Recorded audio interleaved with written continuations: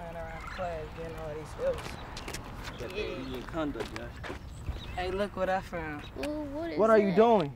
You can't be serious. Mom and Dad told us about smoking. We were getting in so much trouble. But Bruh, they smoke too. They smoke too. The biggest reason to quit is the smallest. Children learn habits from their parents and loved ones.